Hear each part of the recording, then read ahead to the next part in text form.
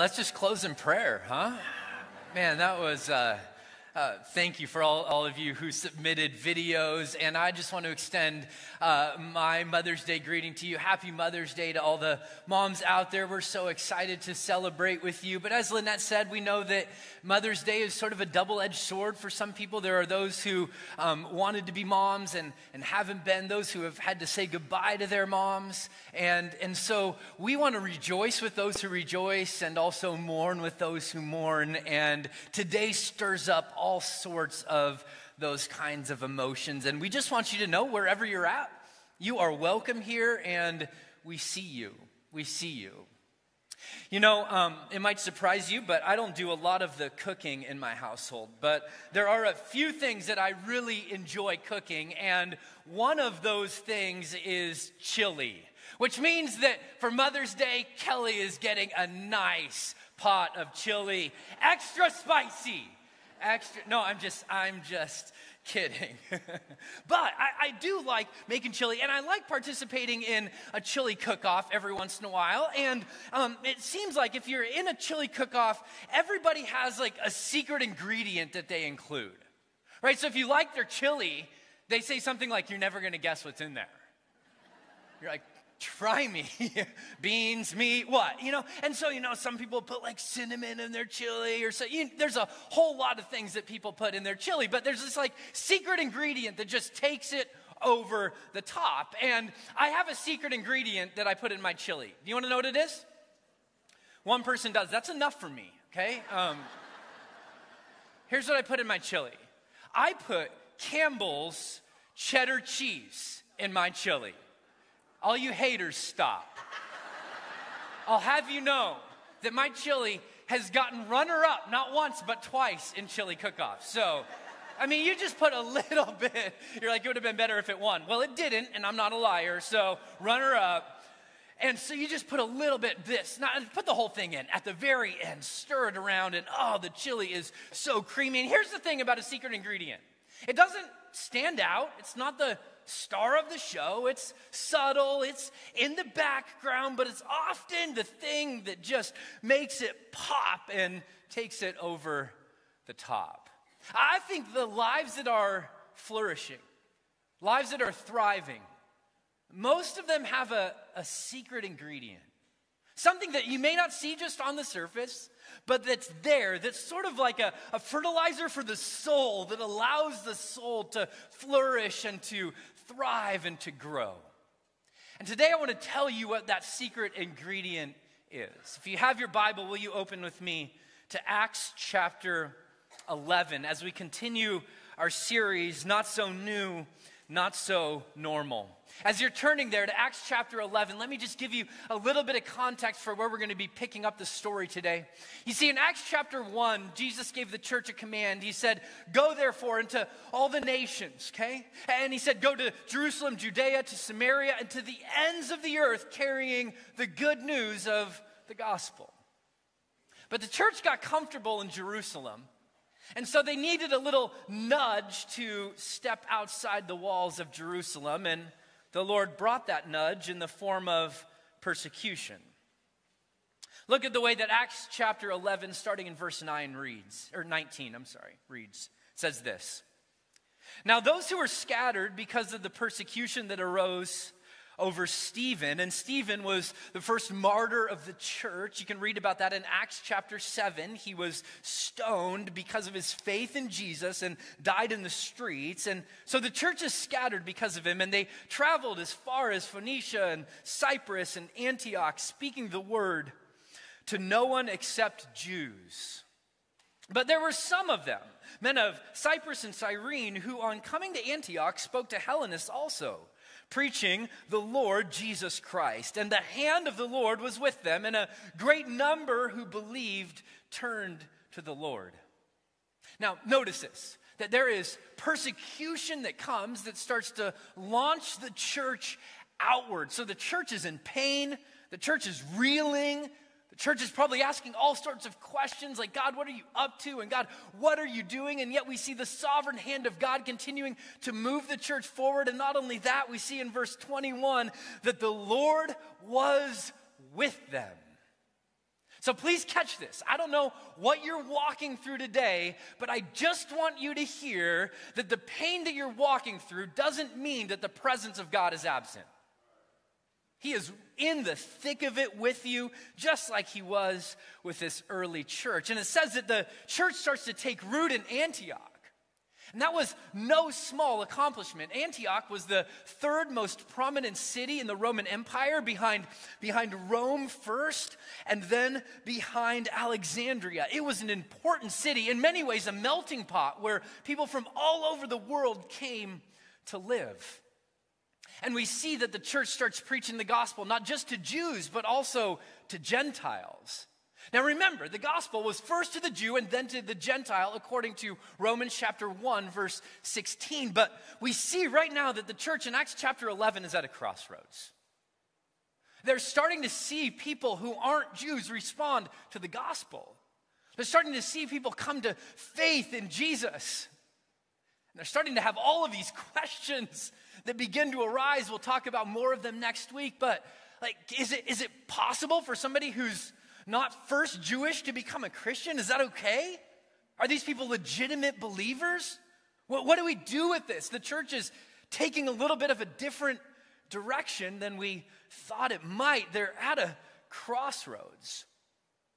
You see, and it's in times of transition, t- times of movement, times where things aren't quite what they're going to be and they aren't what they were that are really, really challenging, aren't they? So, what happens in the midst of this crossroads that they face in Antioch? Well, verse 22, here's what happens. The report came to the ears of the church in Jerusalem, and they sent whom? Barnabas to Antioch. Now, that may not seem like all that big of a deal to you, but this is not the first time we've met Barnabas in the book of Acts. He actually showed up for the very first time in Acts chapter 4. And listen to what happened in that occasion. It says, Thus Joseph, who was also called by the apostles, what? Barnabas, which means son of encouragement, a Levite, native of Cyprus, sold a field that belonged to him and brought the money and laid it at the apostles' feet. So when the early church is just getting started, when they're starting to pool their money together to take care of one another in the midst of a bloody empire, who's one of the very first people that sells a field and says, I'm in? Who is it? Barnabas. And it was such a significant move that they say, This guy's going by Joe, but I don't think that's his name. Let's call him something else. Let's call him Son of Encouragement. And everybody goes, Yeah, that fits. That fits. I mean, can you imagine having your name changed to Son of Encouragement and everybody looks on and goes, Yeah, that fits. That fits. But it's not the last time that we see Barnabas before Acts chapter 11. We also saw him in Acts chapter 9. It says this, and when he, and the he here is the apostle Paul, although he's not called Paul yet, he's called Saul. When he had come to Jerusalem, and he attempted to join the disciples, and they were all afraid of him, for they did not believe that he was a disciple. But any guesses who shows up? Barnabas. But Barnabas took him and brought him to the apostles and declared to them how on the road he'd seen the Lord who spoke to him and how at Damascus he had preached boldly in the name of Jesus. I mean, think about how important this moment is in the development of the early church. What would have happened if the disciples had said, We've got no use for Paul? What would have happened if they said, No, no, no, no, he was responsible for Stephen's death. We, we, can't, we can't link arms with Paul? No way. And yet, it's Barnabas who stands in between the disciples who are saying, Nope. And in between Saul, who's called by God to be one of the first carriers of the message of the gospel to the Gentiles, and it's Barnabas, son of encouragement, who shows up. Commentator William Barclay called Barnabas the man with the biggest heart in the church. I mean, how cool would it be to be renamed Son of Encouragement? It's really interesting. See, Barnabas makes these almost cameo type appearances at really key moments in the development of the early church. When they're forming community, Barnabas is there. When the Apostle Paul is called, Barnabas is there. When there's tension in the church at Antioch, Barnabas is there. I would argue that Barnabas is the secret ingredient in the early church. And it's not just his presence, it's what he does when he shows up. And listen to what he does. It says, And when he came, he saw the grace of God, he was glad, and he exhorted them all to remain faithful to the Lord with steadfast purpose. That word that the ESV translates exhorted could also be translated encouraged. It's the word in the Greek, we'll talk about it in just a moment, parakaleo. And it could and has been, is translated encourage on a number of different occasions. See, Barnabas is living up to his name. I love that the church doesn't just send somebody that can strategize. They don't send somebody, hey, go fix what's going on in Antioch. They don't send somebody that's going to be the best teacher in the world. No, who do they send? They send Barnabas. Why? Because a word of encouragement can be a catalyst to thriving. That's why they send Barnabas. Because a word of encouragement has the ability to change not just somebody's day, but the trajectory of somebody's life. So they cue Barnabas, son of encouragement. We need him at this crossroads moment. Remember, I told you that the word encourage in the Greek is, is, the word parakaleo. It's from two words put together, it's a compound word. The first is para, and it means from close beside. The second word is kaleo, which means to call. So look at what happens when somebody encourages another person. They, they call to them, they call them out. It's that um, idea that encouragement isn't something that's soft.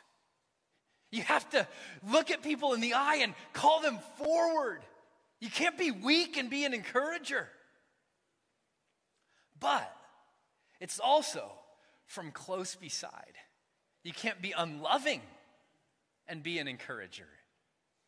You can't be um, unrelational and be an encourager. It demands, it demands that you are both strong and connected to the other person. So you might be asking yourself, a word of encouragement can be a catalyst to thriving. Ryan, is encouragement really that big of a deal? Can it make that big of a difference in somebody's life? Can it be the seeds of thriving in the life of another? Well, just look at the way that James talked about the power of words.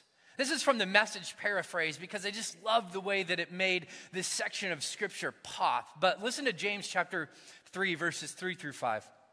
It says this A bit in the mouth of a horse controls the whole horse. A small rudder on a huge ship in the hands of a skilled captain sets a course in the face of the strongest wins. Those are, those are both um, analogies for what he really wants to talk about, which is this a word out of your mouth may seem of no account, but it can accomplish nearly anything or destroy it. Have you ever thought about the immense power that your words hold. I mean, you might even say that spoken words shape human worlds. like seeds, they get planted inside of our head and our heart, and eventually they bear fruit. They can cause people to doubt or believe, to flounder or flourish, to fail or fly. And in speaking about the power of negative words, atheist John Paul Sartre said this. Here's what he said He said, Words are loaded pistols. You remember that old adage that used to fly around on playgrounds? Sticks and stones may break my bones, but words will never. Okay, just by show of hands, How many of you have ever been hurt by a word? Okay, so somebody lied to us. Sticks and stones may break my bones, but words will never hurt me? You don't need to raise your hands, but how many of you can still remember a word that was spoken to you years and years, maybe even decades ago, that just lodged in your heart or in your head? It's really interesting. Your brain is actually wired to remember harsh words. That your amygdala uses approximately two thirds of its neurons to detect negative words and negative experiences. And it lodges those words into your long term memory almost immediately. By way of contrast, if somebody says something nice to you or kind or encouraging, you need to hold that thought for at least 12 seconds in order for it to get lodged into your long term memory. Which is why you could go through a day and hear a number of compliments and pieces of encouragement, and all somebody has to say is one negative thing, and the whole day is off track. Anybody want to say amen to that? Yeah, it's just part of the way that we are wired. So think about our cultural moment right now. I mean, you turn on the news, you turn on a podcast, you swipe through social media. I mean, how much negativity is just surrounding us? When we were exploring this series and what to talk about when we talk about not so new, not so normal, and I saw Mother's Day right in the middle of this series, I thought about this text because I thought, you know what's, you know what's normal? Is using words to tear people down. In a moment of outrage, we will say almost anything to feel like we're on top. You know what's not so new, not so normal? Barnabas. Encouraging, coming alongside of people to build them up and to push them forward. And to all the moms who are sitting in this space today, this is what you long for, isn't it? To be a woman who speaks life, who speaks truth, who comes alongside of your kids or alongside of your grandkids, who points them to Jesus and says to them, Keep going. And here's a beautiful thing we long for that and we're wired to need it. And so I think what God wants to do together is to bring both our both of our longings, our need for those words and our longing to give them together to say and paint a picture of what it looks like to move forward believing that a word of encouragement can be a catalyst to thriving. So look at the way that this plays out in the early church and the life of Barnabas. There's four things that Barnabas does because you know, it can be really easy to just say, hey, go be an encouragement. And a right response would be, How? What does that look like? I'm so glad you asked that. There's four things that that looks like in Acts chapter 11. Look at this. It says the report, the report that God was doing a new thing in Antioch, came to the ears of the church in Jerusalem, and they sent Barnabas to Antioch. And I thought, well, yeah, that's the perspective from Luke, who's writing this, it's the perspective of the church in Antioch. But if you're Barnabas, you would write this a little bit different, wouldn't you? They called for me, and I had to decide whether or not I was going to go. I heard it was a little bit messed up down there in Antioch, a little bit contentious. Had to pray about it a little bit. Yeah, they sent Barnabas, but Barnabas also had to decide to enter the tension to enter the tension. See, encouragement is most needed in places we typically try to avoid. In fact, I, I, would go so far as to say if there is a situation you'd rather avoid, there's probably a person longing for encouragement.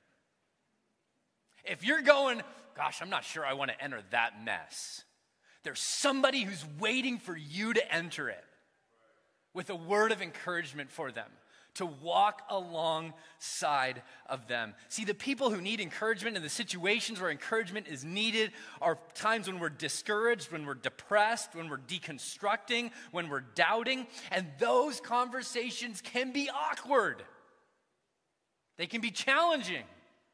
Listen, it's easy to talk about the weather. It's easy to offer trite cliches. It's easy to ignore and change the subject. But I think what God is calling us to as a community of faith is to say, I will enter the tension. Even when I don't know what to say and I don't have all the answers, I'm going to do my best to enter with a word of encouragement because a word of encouragement can be a catalyst to thriving. But let's just name that that's not easy. One of my favorite times during my week is when our writing team meets to plan our daily filled devotions that come to your email inbox every single morning throughout the week if you sign up, which plug, plug, you should sign up. Um, one of our writers, when we were talking about this passage, his name's Jonathan Duncan. He made this statement during our writing time, and I wrote it down and I told him, I'm going to use that in my sermon because I think that that captures it so beautifully. Here's what Jonathan said Jonathan said, To be a true encourager, you need to know your way around sadness. And this is a, man who has CP, who knows his way around sadness, but is also an encourager. And I think what he's saying is you can't be afraid of the darkness. You can't be afraid of the pain. You can't be afraid of not knowing the answers. You just got to step in.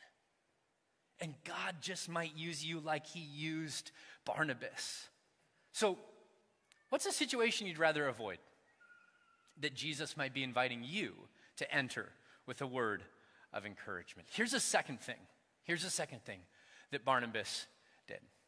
It says, and when he came, he, will you say these five words with me, Emmanuel Faith? He saw the grace of God and he was glad. What a picture of an encourager. See, an encourager has the ability to excavate grace.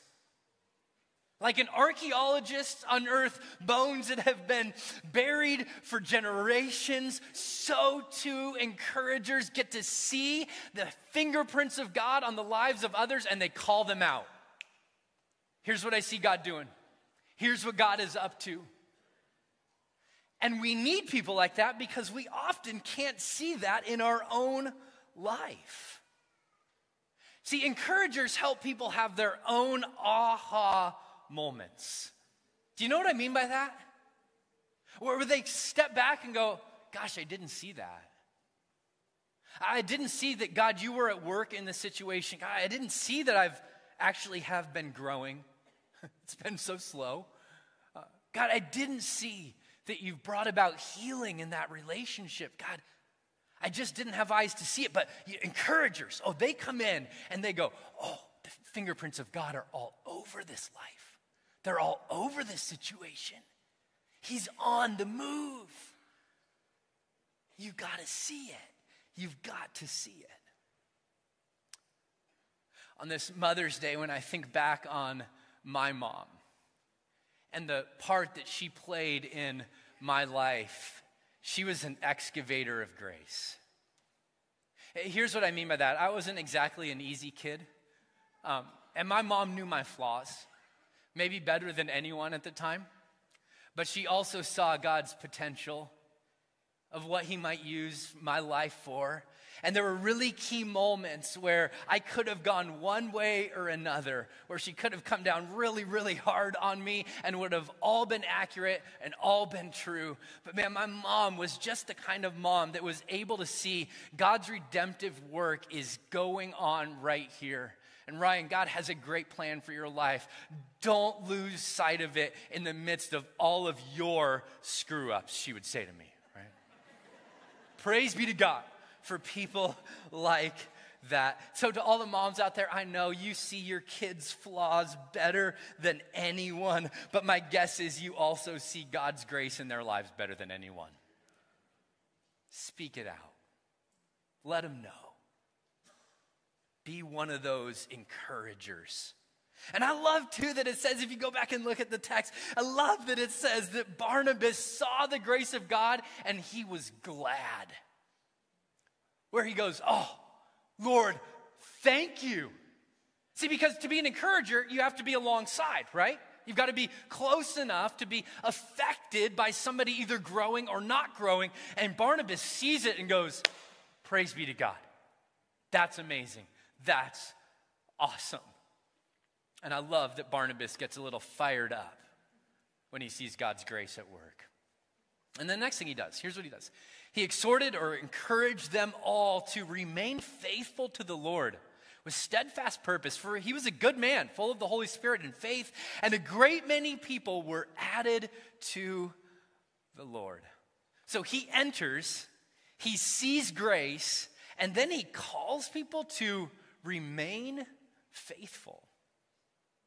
You know, as I was thinking about the New Testament epistles, these letters that were just floating back and forth to different churches from different authors in the first century, that seemed like encouragement to remain faithful was one of the main themes.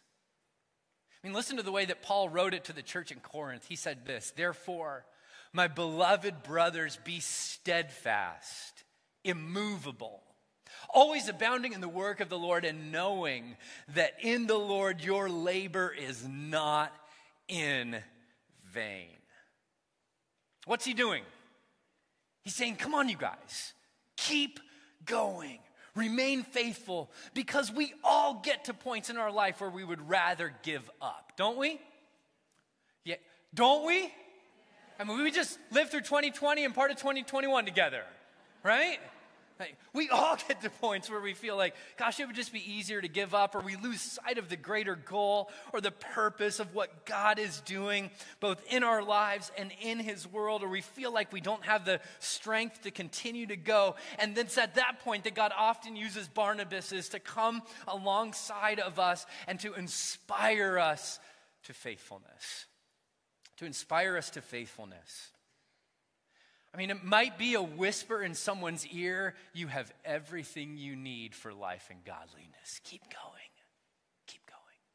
It might be reminding somebody that they are known and valued by the King of Kings and the Lord of Lords. That Jesus gave his life for them because he loved them. That God wired them together in their mother's womb. That they are fearfully and wonderfully made. It might be reminding somebody that God has a purpose for their life. But in every situation, it's reminding them and calling them to remain faithful. It might even be a strong word of saying, listen, if you have that affair, if you continue to go down that road, if you do this or that, you are going to lose the things that you care about most in this world. Because remember, encouragement isn't always soft.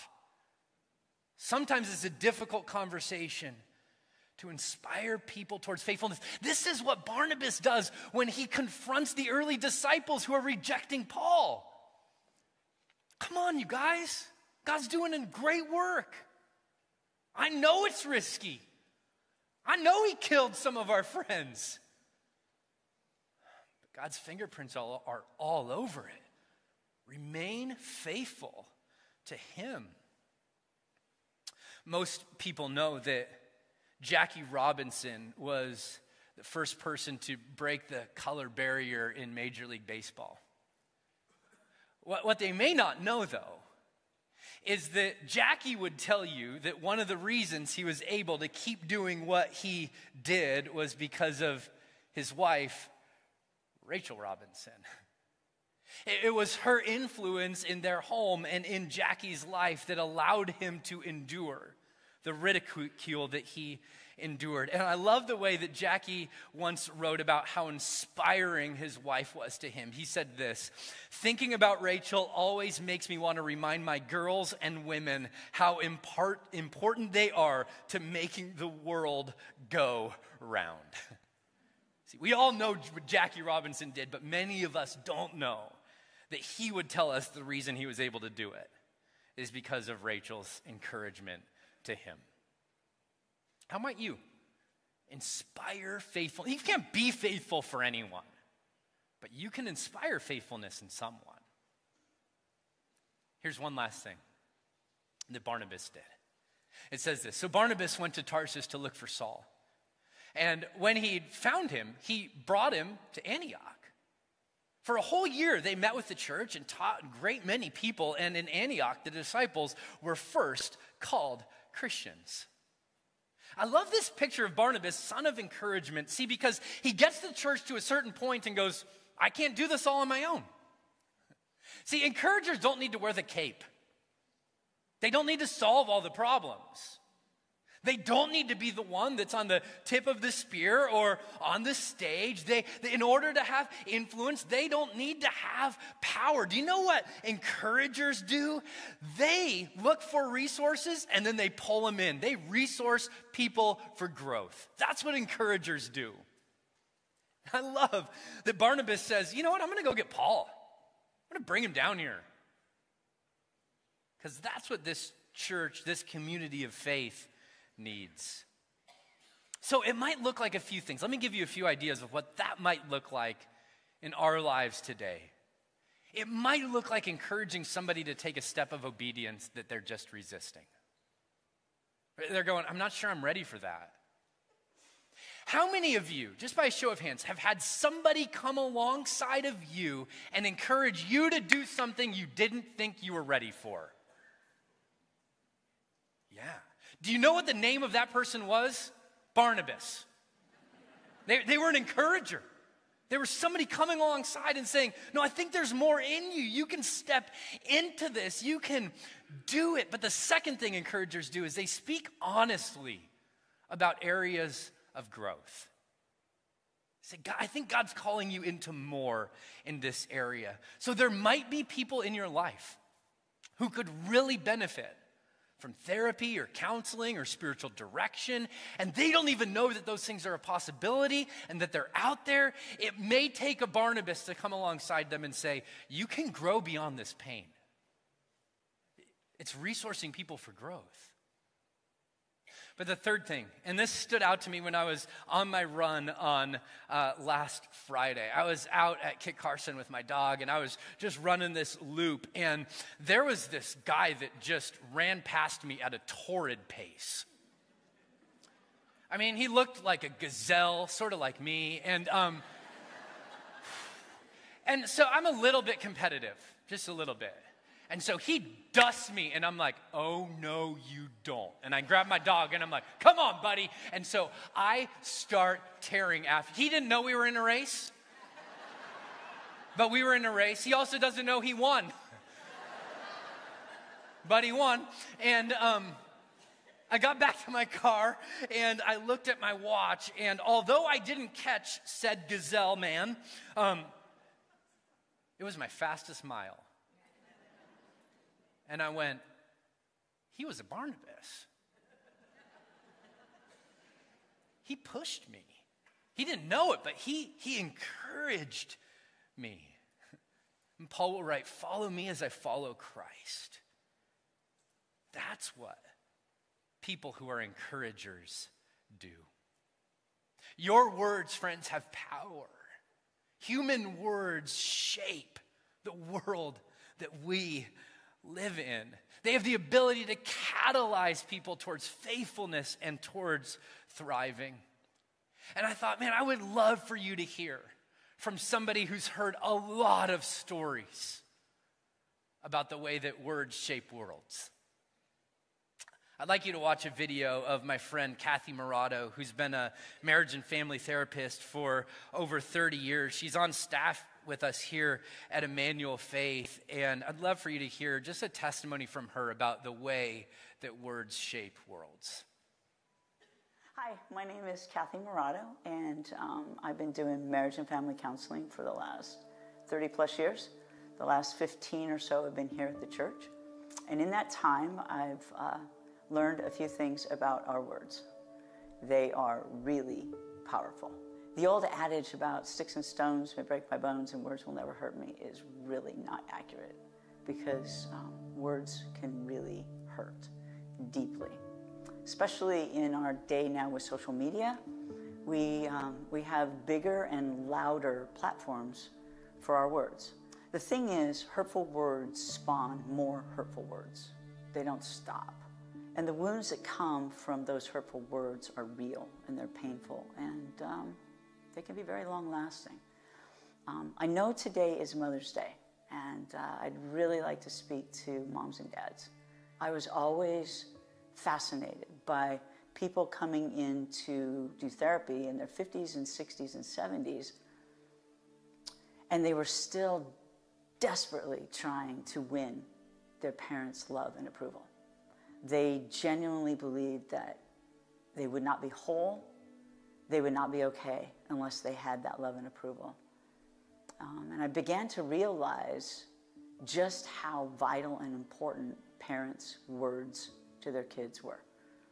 God has given us parents tremendous power to shape and instill deeply entrenched beliefs in our kids, which they will take into adulthood. Uh, beliefs like, I am really worth loving just for being me. Or, no, I don't deserve to be loved at all. Or, I have value just for being myself. Or, no, I have to please and earn and perform to find any kind of significance in my life. Or, I matter in this life. Or, no, I don't. The picture that we paint of God is the primary source of understanding of Him for our kids. Now, I don't know about you, but that seems pretty daunting. Like, Lord, what are you thinking, right? That is the hope that I'm really wanting to share with you today. That we cannot do this parenting thing well without Him. But with Him, we certainly can. Um, so, I would encourage you, if you haven't begun already, to truly be seeking Him every day, asking for His help, so that we can be empowered by Him to fulfill the sacred trust that He's given to each one of us as parents. He welcomes that, He wants that. Some of you may be thinking, well, that's just great. Glad to hear that now. Um, I've already blown it. It's, it's a lost cause. It's too late. Let me just tell you, it is not too late. There is hope. There is grace upon grace upon grace from our Heavenly Father. He will give us the power and the desire to use our words well, which brings life to others and ultimately to ourselves too. So that to me brings great hope. Thanks for letting me share and uh, happy Mother's Day to all you moms out there and happy Mother's Day to you, Mom.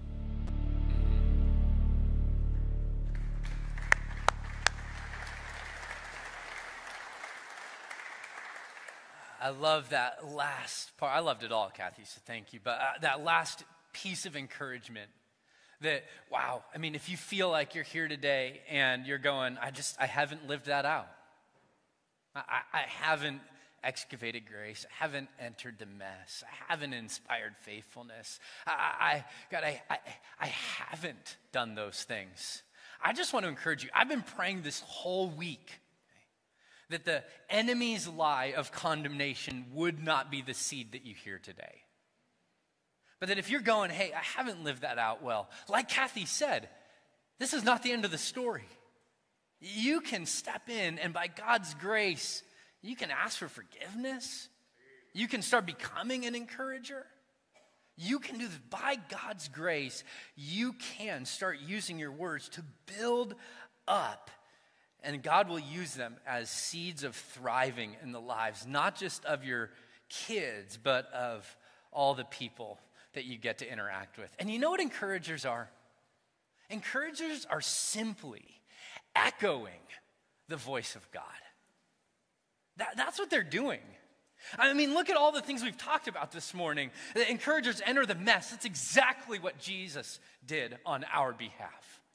Encouragers excavate grace. Well, Jesus doesn't excavate grace, He brings grace, He breathes grace.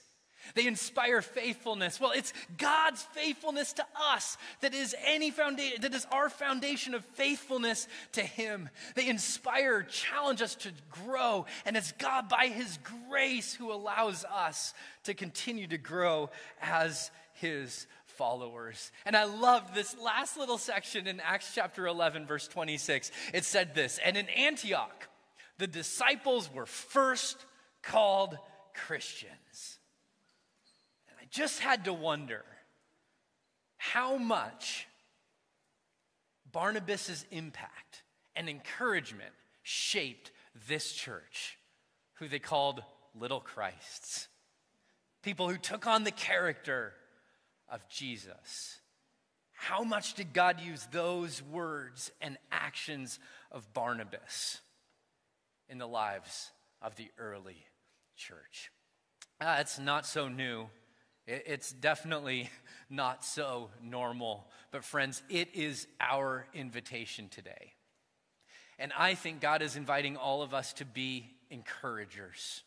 So, this week, you could send a text message, you could send a note, you could make a phone call, you could set up a lunch or a coffee with somebody and just listen to their story and see how you might be able to speak a word of encouragement into it. You want to be an encouragement to this church body? Our kids' ministry needs about 20 volunteers to continue to serve over 250 kids every single weekend. And you know what each one of those volunteers gets to do? Guess. Encourage. Encourage. You get to call somebody alongside them and say, God has great things in store for you. And you know what? If you do that, if you step into this role of being an encourager, God's going to encourage you also. Proverbs chapter 11, verse 25 says, Whoever refreshes others will himself be refreshed. So, as we close, would you just open your hands to God? Say, God, I'm open to you. Would you ask Him right now how He might be inviting you to live this message out?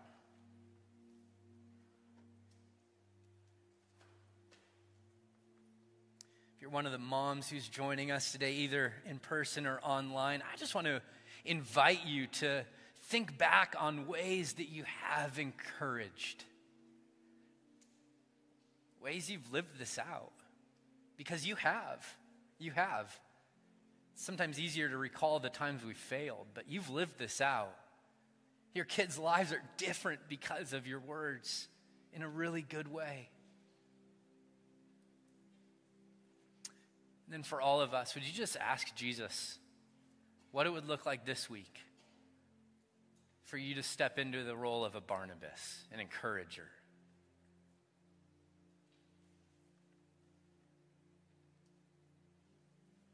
God, it's humbling to think that we might be the, the secret ingredient, empowered by your spirit and by your grace, but that you might use us to be the secret ingredient in somebody's thriving and they're flourishing. God, I pray that when we encounter people who are at a crossroads, that we might speak life, that we might speak love, that we might speak hope, that we might speak peace, that we might be encouragers, not just soft, but in challenging situations, that we would step in with a strong word, but that you would use us in the lives of others to help them move more towards the life that you died to give them. Lord, thank you for every single person in this room. I lift up the moms especially. May they know your grace in their life today. May they feel the appreciation for the many ways that they sacrifice for their kids and for their families. May they hear your whisper, Well done, well done, and keep going. Jesus, thank you for being such an encouragement to us. We love you. It's in your name we pray. Amen.